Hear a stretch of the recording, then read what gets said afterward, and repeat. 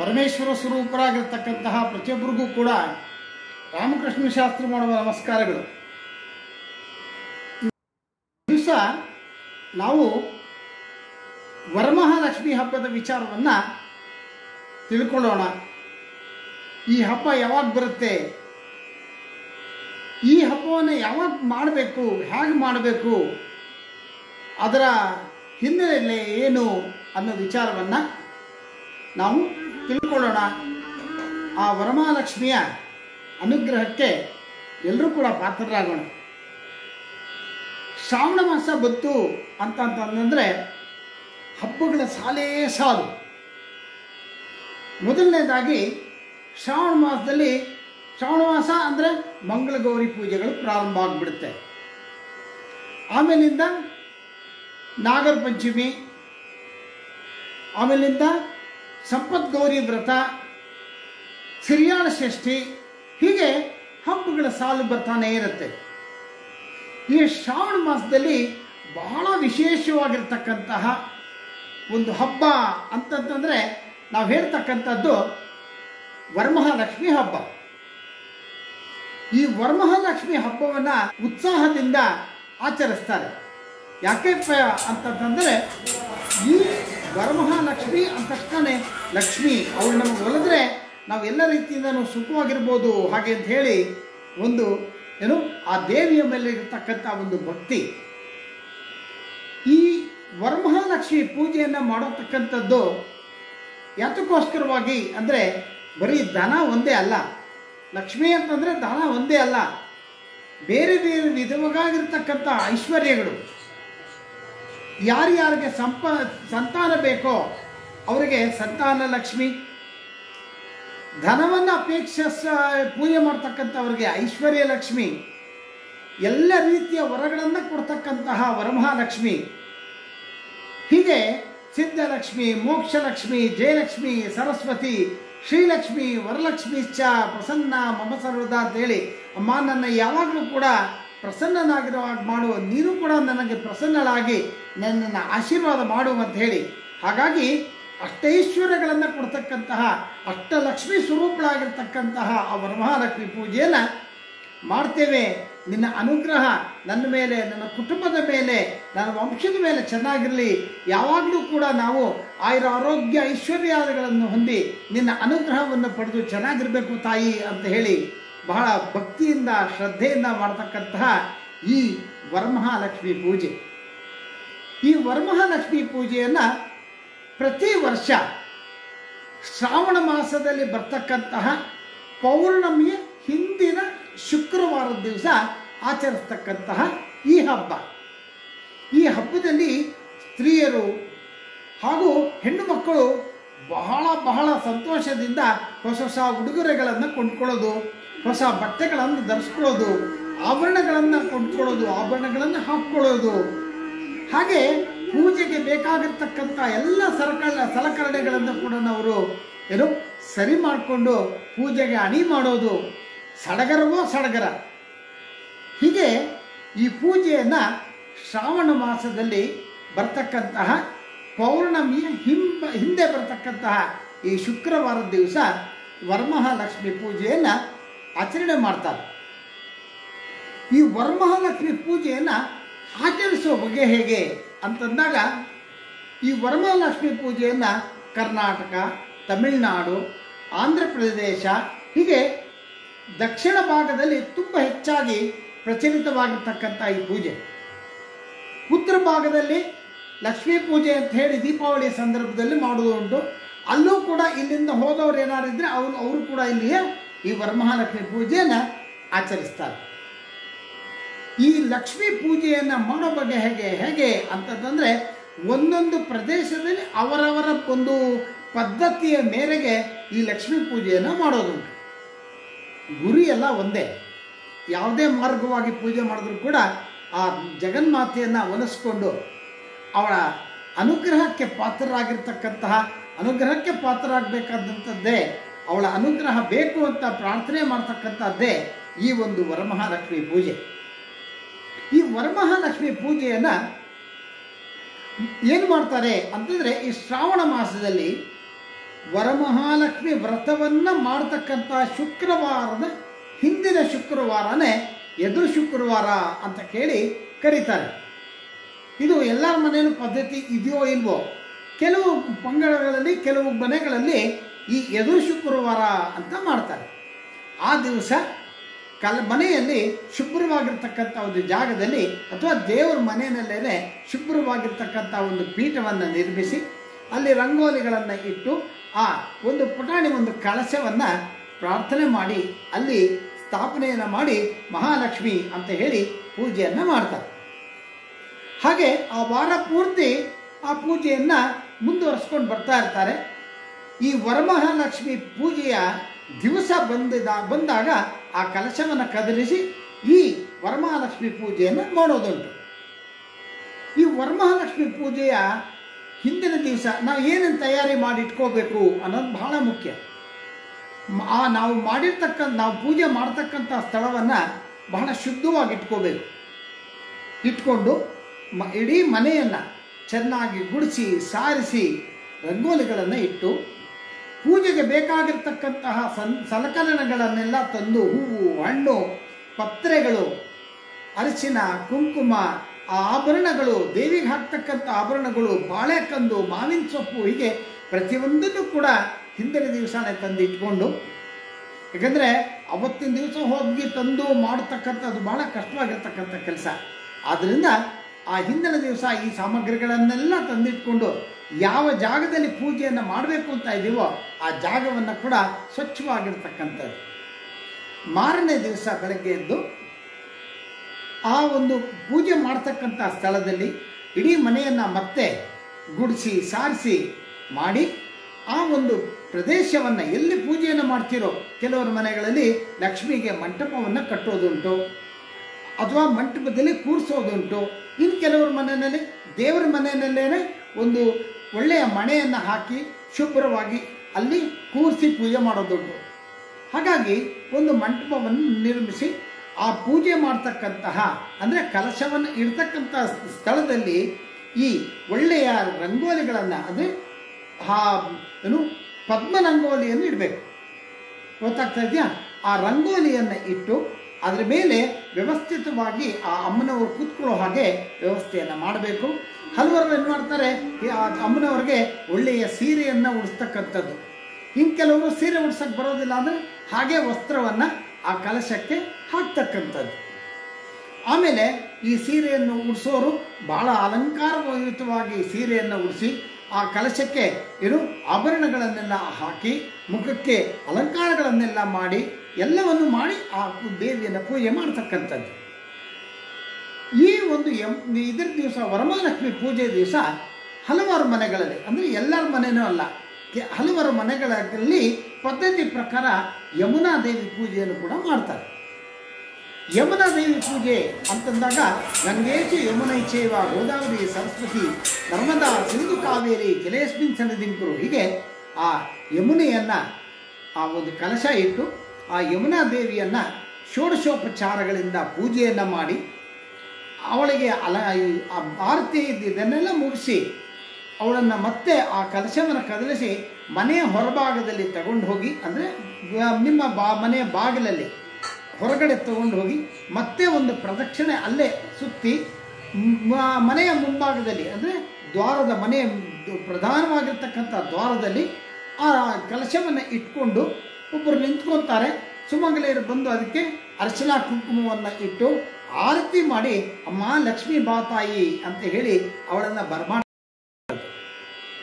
ಹಾಗಾಗಿ ಆ ಒಂದು ಯಮನ ಪೂಜೆಯನ್ನು ಮಾಡಿ, ಆ ಯಮನ ಕಲಶವನ್ನು ತಗೊಂಡು ಬಂದಿಟ್ಟು ಇಲ್ಲಿ ಸಿದ್ಧ ಮಾಡಿಕೊಂಡಿರ್ತಕ್ಕಂತಹ ಈ ವರಮಹಾಲಕ್ಷ್ಮಿ ಕಲಶವನ್ನು, ಅಂದರೆ ವರಮಹಾಲಕ್ಷ್ಮಿ ಕಲಶದಲ್ಲಿ ಏನು ಮಾಡ್ತಾರೆ ಅಂತಂದರೆ ಕೆಲವರ ಮನೆಯಲ್ಲಿ ನೀರು ಹಾಕಿ, ಆ ಡ್ರೈ ಫ್ರೂಟ್ಸ್ಗಳನ್ನೆಲ್ಲ ಹಾಕಿ, ನಿಂಬೆಹಣ್ಣನ್ನು ಹಾಕಿ ಎಲ್ಲ ಮಾಡಿರ್ತಾರೆ.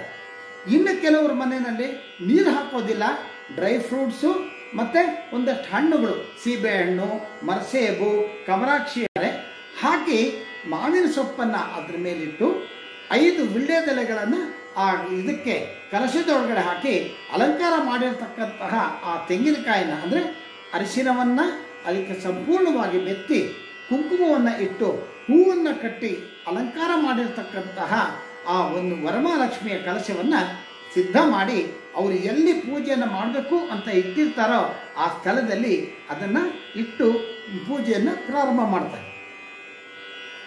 ಈ ಒಂದು ಕಲಶವನ್ನು ಇಟ್ಟು ಪೂಜೆ ಮಾಡ್ತಾ ಮಾಡಬೇಕು ಅಂದಾಗ ಅದಕ್ಕೆ ವಿಶೇಷವಾಗಿ ಏನೇನು ಮಾಡ್ತಾರೆ ಅಂತಂದ್ರೆ ಬೆಳಗ್ಗೆದ್ದು ಅಚ್ಚುಕಟ್ಟಾಗಿ ಸ್ನಾನವನ್ನು ಮಾಡಿ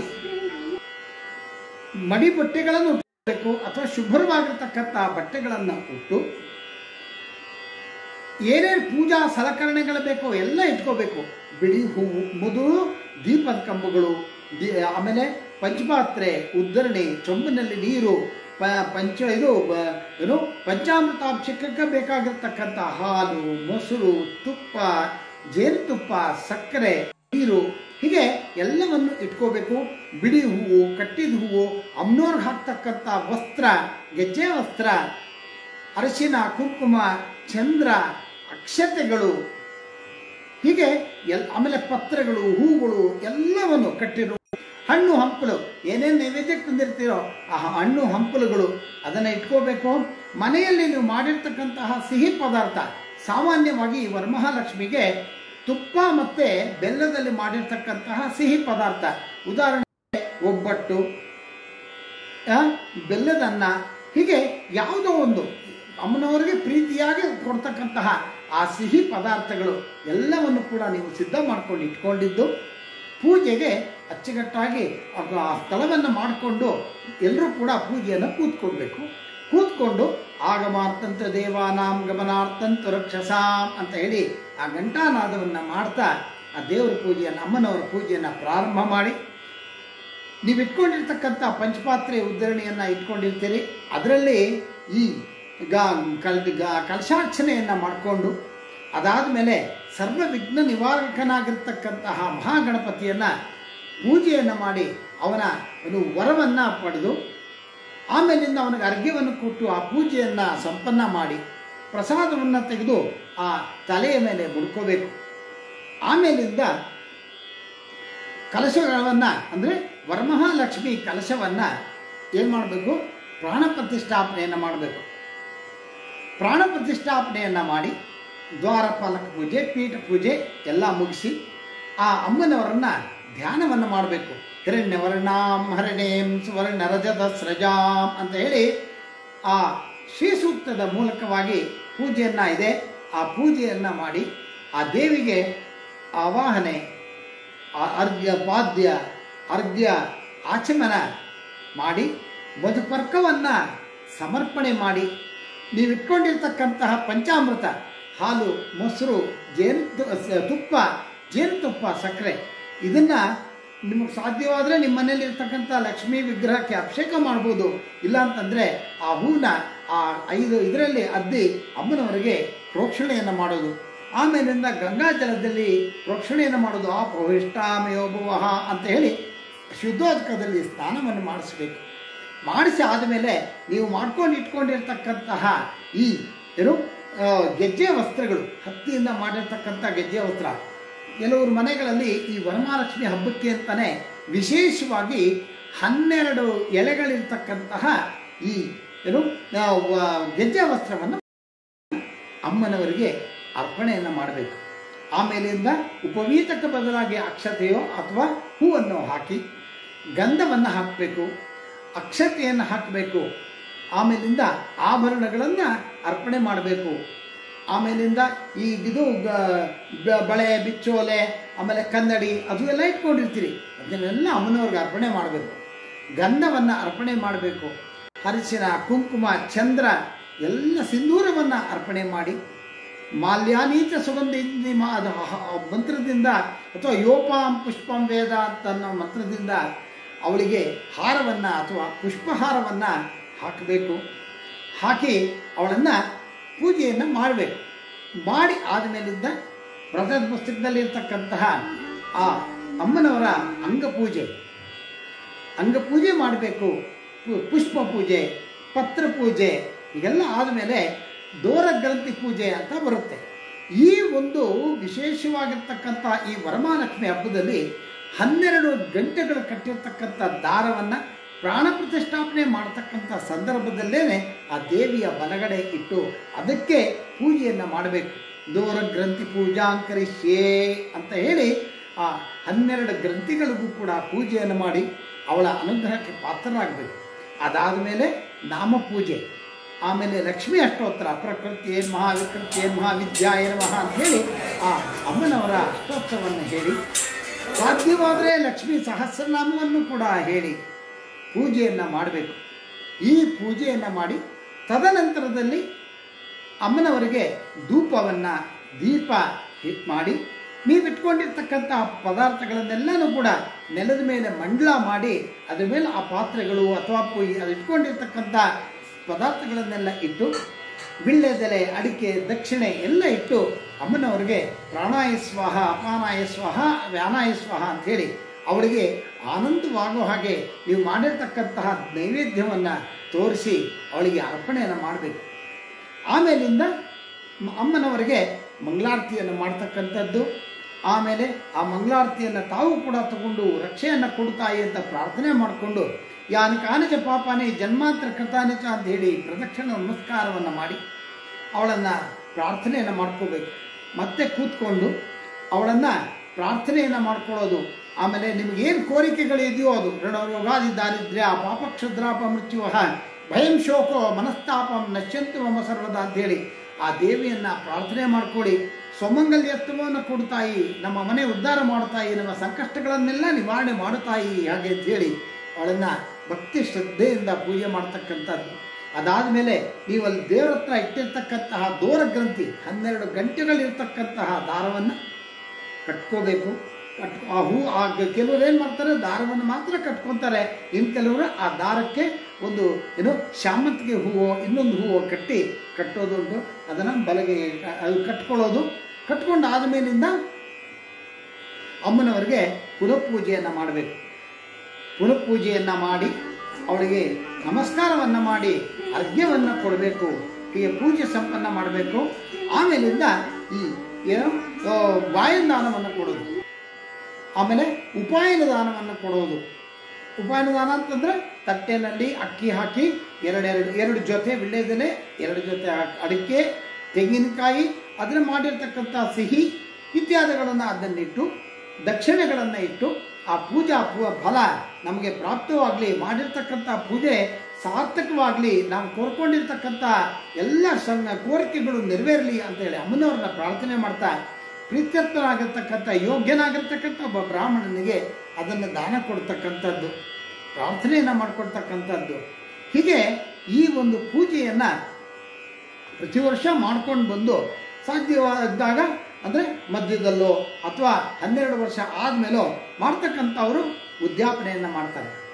ಹೀಗೆ ಈ ವರಮಹಾಲಕ್ಷ್ಮಿ ಹಬ್ಬವನ್ನು ಪ್ರತಿ ವರ್ಷವೂ ಕೂಡ ಮಾಡಿ ಅವಳ ಅನುಗ್ರಹಕ್ಕೆ ಪಾತ್ರರಾಗಬೇಕು. ಈ ಒಂದು ಹಬ್ಬದ ಒಂದು ಏನು ಪೌರಾಣಿಕ ಕಥೆ ಕೂಡ ಜ್ಞಾಪಕ ಬರುತ್ತೆ. ಒಬ್ಬ ಪತಿವ್ರತೆಯಾಗಿರ್ತಕ್ಕಂತಹ ಚಾರುಮತಿ ಅಂತಕ್ಕಂತಹ ಒಬ್ಬ ಪತಿವ್ರತೆ ಅವಳು ಅತ್ತೆ ಮಾವನ ಸೇವೆಯನ್ನು ಮಾಡ್ತಾ ಇರ್ತಾಳಂತೆ. ಬಹಳ ಪ್ರೀತಿ, ಶ್ರದ್ಧೆಯನ್ನು ಮಾಡ್ತಾ ಇದ್ದಾಳೆ ಅವಳು. ಆ ಒಂದು ಶ್ರದ್ಧಾ ಭಕ್ತಿಯನ್ನು ನೋಡಿ ಜಗದೀಶ್ವರಿ ಆಗಿರ್ತಕ್ಕಂಥ ಆ ಮಹಾಲಕ್ಷ್ಮಿ ಅವಳ ಕನಸಿನಲ್ಲಿ ಕಾಣಿಸ್ಕೊತಾಳೆ. ಕಾಣಿಸ್ಕೊಂಡು ಹೇಳ್ತಾಳೆ, ಅಮ್ಮ, ನೀನು ಮಾಡ್ತಾ ಇರ್ತಕ್ಕಂಥ ಸೇವೆ ನನಗೆ ಸಂತೋಷವಾಗಿದೆ. ನೀನು ಶ್ರಾವಣ ಮಾಸದಲ್ಲಿ ಬರ್ತಕ್ಕಂಥ, ವರಮ ಮುಂಚೆ ಬರ್ತಕ್ಕಂಥ ಶುಕ್ರವಾರದ ದಿವಸ ನೀನು ಈ ಪೂಜೆಯನ್ನು ಮಾಡು. ನಿನಗೆಲ್ಲ ರೀತಿಯ ಅನುಕೂಲಗಳಾಗುತ್ತೆ, ಅಷ್ಟೈಶ್ವರ್ಯಗಳು ಪ್ರಾಪ್ತವಾಗುತ್ತೆ. ನಿನಗೇನು ಬೇಕು ಎಲ್ಲ ಸಿದ್ಧಿಸುತ್ತೆ, ಅಂತ ಹೇಳಿದಾಗ, ಆಕೆ ತನ್ನ ಸ್ವಪ್ನ ವೃತ್ತಾಂತವನ್ನು ತನಗೆ ತಿಳಿದಿರ್ತಕ್ಕಂಥ ಎಲ್ರಿಗೂ ಕೂಡ ಹೇಳ್ತಾಳೆ. ಎಲ್ಲರೂ ಕೂಡ ಶ್ರಾವಣ ಮಾಸದ ಆ ಪೌರ್ಣಿಮೆಯ ಮುಂಚೆ ಬರ್ತಕ್ಕಂಥ ಶುಕ್ರವಾರ ದಿವಸನೇ ಕಾಯ್ಕೊಂಡಿದ್ದು, ಅವತ್ತು ಅವರೆಲ್ಲರೂ ಸೇರಿ ವರಮಹಾಲಕ್ಷ್ಮಿ ಪೂಜೆಯನ್ನು ಭಾಳ ಶ್ರದ್ಧಾ ಭಕ್ತಿಯಿಂದ ಯಾವ ಲೋಪಗಳು ಆಗದೇ ಇರೋ ಹಾಗೆ ಪೂಜೆಯನ್ನು ಮಾಡ್ತಾರೆ. ಈ ಒಂದು ಪೂಜಾ ಫಲದಿಂದ ಅನುಗ್ರಹವನ್ನು ಮಾಡ್ತಾಳೆ. ಅವರೆಲ್ಲರೂ ಕೂಡ ಸುಖವಾಗಿ ಸಂತೋಷವಾಗಿ ಬಾಳಿದ್ರು. ಇದರಿಂದ ಆ ಕ ಈ ಒಂದು ಕಥೆಯನ್ನು ಕೇಳಿ ಇನ್ನೂ ಒಂದಷ್ಟು ಜನ ಆ ಪೂಜೆಯನ್ನು ಮಾಡಿದ್ರು ಅಂತ ಹೇಳಿ, ಯಾರು ಈ ಕಥೆಯನ್ನು ಕೇಳಿ, ಯಾರು ಕೇಳ್ತಾರೋ, ಯಾರು ಹೇಳ್ತಾರೋ ಎಲ್ರಿಗೂ ಕೂಡ ವರಮಹಾಲಕ್ಷ್ಮಿ ಖಂಡಿತವಾಗ್ಲೂ ಅನುಗ್ರಹವನ್ನು ಮಾಡ್ತಾಳೆ ಅಂತಕ್ಕಂಥದ್ದು ರಸದಲ್ಲಿ ಬರ್ತಕ್ಕಂಥ ಒಂದು ಕಥೆ. ಹಾಗೆ ನಾವೆಲ್ಲರೂ ಕೂಡ ಯಥಾಶಕ್ತಿ, ಯಾವ ವಿಧವಾಗಿರ್ತಕ್ಕಂತಹ ಒಂದು ಏನು, ಮನಸ್ಸಿನ ಪಲ್ಲಟ ಮಾಡಿಕೊಳ್ಳದೆ ಭಾಳ ಶ್ರದ್ಧಾಭಕ್ತಿಯಿಂದ ಆ ಅಮ್ಮನವರನ್ನ ಪೂಜೆ ಮಾಡಿ ಅವಳ ಅನುಗ್ರಹಕ್ಕೆ ಪಾತ್ರರಾಗೋಣ.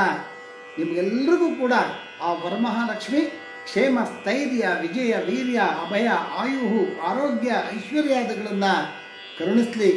ಎಲ್ಲ ರೀತಿಯ ಸಂಕಟಗಳು ನಿವಾರಣೆಯಾಗಿ, ಪುತ್ರ ಪೌತ್ರಾಭಿವೃದ್ಧಿಗಳಾಗಿ, ಅನುಗ್ರಹ ಆಗಿ ಅಮ್ಮನವರ ಸಂಪೂರ್ಣ ಅನುಗ್ರಹ ಎಲ್ಲರಿಗೂ ಆಗಲಿ ಅಂತ ನಾನು ಪ್ರಾರ್ಥನೆ ಮಾಡ್ತಾ ಈ ವಿಡಿಯೋವನ್ನು ಮುಗಿಸ್ತಾ ಇದ್ದೀನಿ. ಎಲ್ರಿಗೂ ಕೂಡ ಈ ವರಮಹಾಲ ಲಕ್ಷ್ಮಿ ಹಬ್ಬದ ಹಾರ್ದಿಕ ಶುಭಾಶಯಗಳು. ಶುಭಮಸ್ತು. ನಮಸ್ಕಾರ.